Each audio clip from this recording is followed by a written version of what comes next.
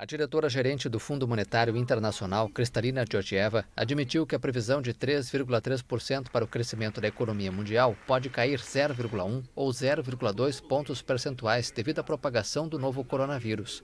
A chefe do fundo destacou que ainda há muita incerteza.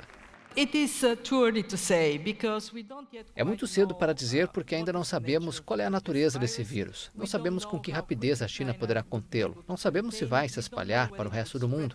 O que sabemos, no entanto, é que sim, isso vai afetar as cadeias globais de valor, já afetando alguns setores como o turismo e o de viagens global value chains already affecting some. Uh, it is affecting tourism, it is affecting travel. Cristalina disse que o mundo deveria se preocupar com o crescimento lento provocado pelas incertezas.